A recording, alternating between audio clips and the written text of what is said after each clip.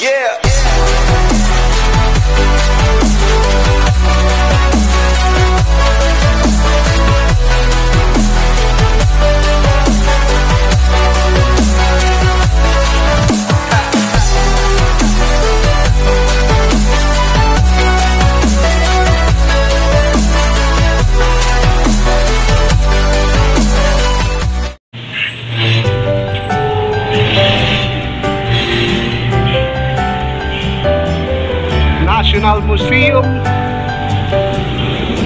Anthropology. Ito po yung pinapakita ko nung na nakaraang vlog ko. For Anthropology pala to. Isang building lang ito, no? Meron pa rin doon sa kabila. Yung main. Dito tayo sa Finance Road.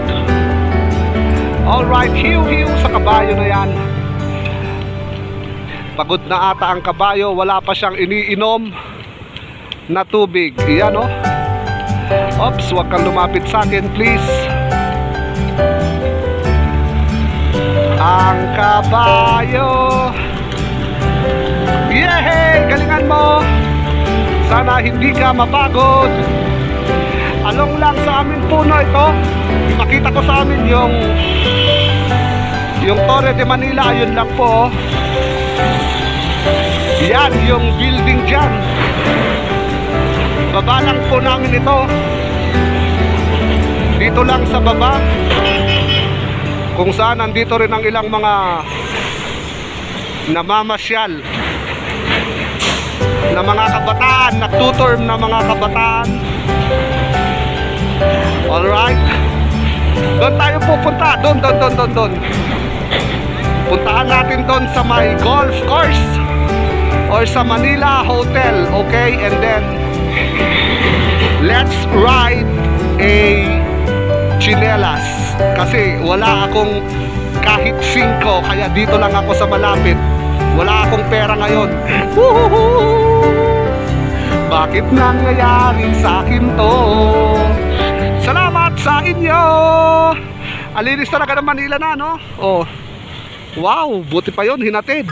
Okay, see you there guys. See you there. See you there.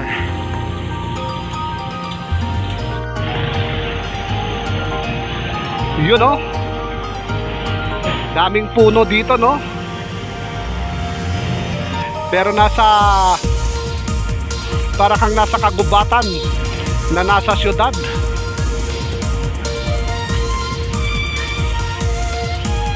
Alam nyo ba kung nasan to? Ayun o, nasa Pedsing. Pero sa lugar na ito po, kadalasan ah, nagpapahinga ang mga kabayo. Yung mga kalesa na nakikita nyo yung nagra-rides. Kasi nga po naman, mapuno, mahangin, makulimlim dito. You are at the nature's finest in the middle of downtown Manila. Ayan oh, saan ka makakakita ng ganito, mapuno sa isang syudad, lalo na dito pa sa Metro Manila. Manila, most particularly dito sa may um, papuntang tabi ng Luneta. Okay, tawid tayo para mapuntahan ko yan. Papakita ko sa inyo ang tunay na ganda at kinang ng Manila. Okay? Ganda, di ba? Presko. Hiu, hiu. Yeah. Ayan o, nakatawid na tayo. Nakatawid na po tayo. Ipapakita ko sa inyo, may lake dito. Ayun o. May isda kaya dito, may namimingwit o. Tignan nyo, may kahoy. Ang aliwalas niya tignan, lalo na po sa gabi kasi may ilaw to. Hindi ko lang alam kung saan. Dito ako sa may malapit ng Actually, sa Luneta na rin po ito, no? Bakit sa Luneta, sir? Wala naman si Dr. Jose Rizal. Pakita ko sa inyo kung nasan. Actually, nasa likod ko lang yan. Okay? Ayan, oh. Oh. Oh. Kala mo kasi parang nasa liblib ka lang. Kasi nga mapuno dito. Mapuno at mahangin. Pero nandito ka lang naman sa isang lugar kung saan gusto mo mag-senti. Pwede po dito kasi ah, para kang binabalik ng panahon sa dati mong pagkabata. Alright? Punta tayo doon sa kabila nang makita niyo palalo. Ang gandang ipapakita ng trip to nature dito sa Manila.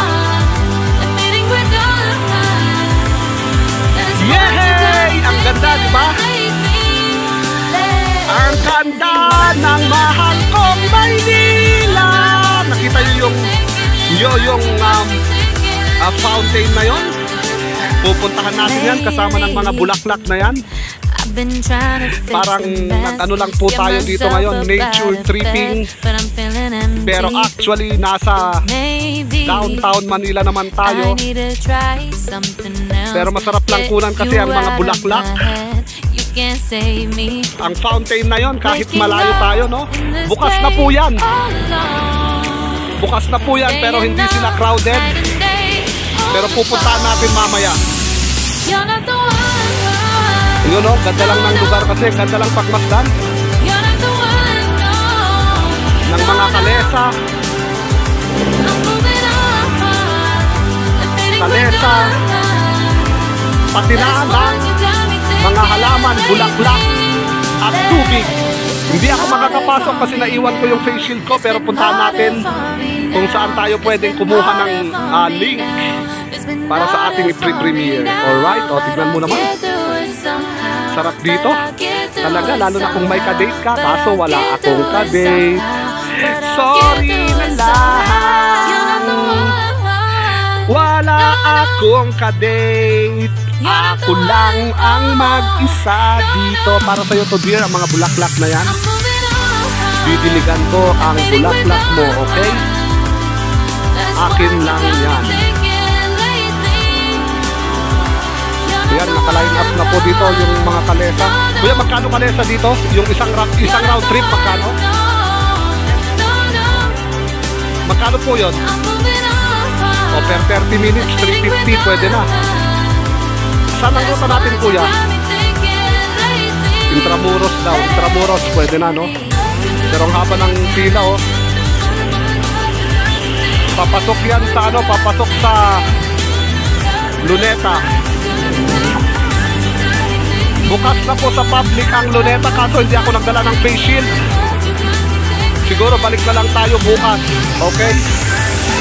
But um, nagagandahan lang ako ngayon sa nature tripping natin dito sa um, Manila. Most especially here in Luneta.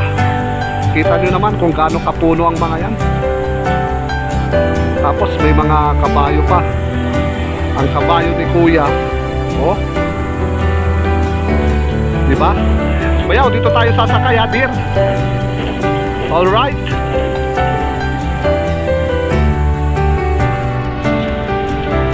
O, di ba? Hindi ko sasabihin kung saan to. Puro ganitong makikita nyo. O, ayan, no? O, puro green lang. oh, saan to?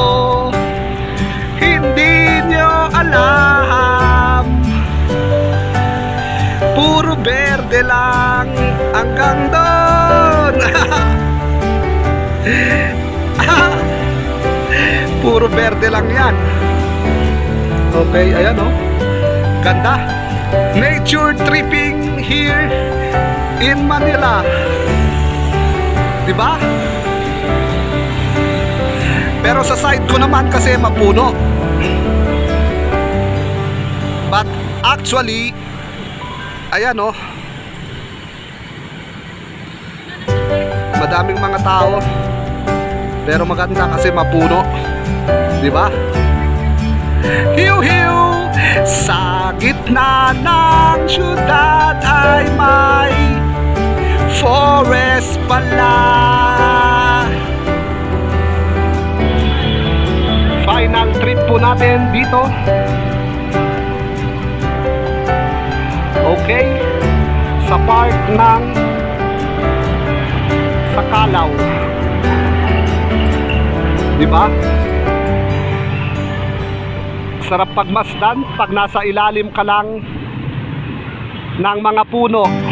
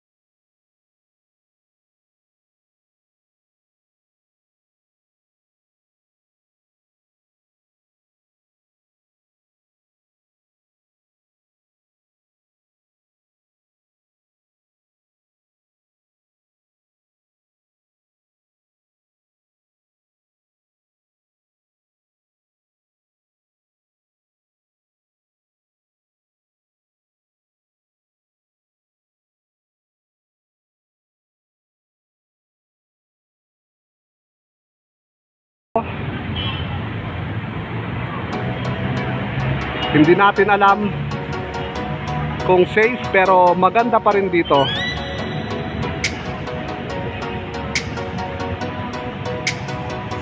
Kahit na Mainit kahit na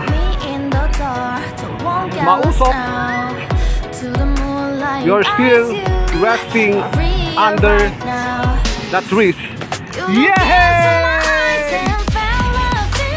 Saan pa nga ba ang huling pinakamagandang nature tripping kung dito, kundi dito sa paakyat ng aming building. Okay. Mapuno pa rin po dito, oh. tignan ninyo. Ang akala nila wala ng pag-asa. But they are trying to preserve uh, these trees. Sana hindi na nila ah, mga putulin pa, okay? Kasi na ang Metro Manila. Oh, but still we got some trees and you still got me. Thank you very much. From the bottom of my heart, I love you dear Jamaica. Bye-bye, Team Johnny, Team Nat, Team Dugong Bukhaw, Team Tropang Pinoy. Hill, hill. Idol, I love you, Ronald. Yeah.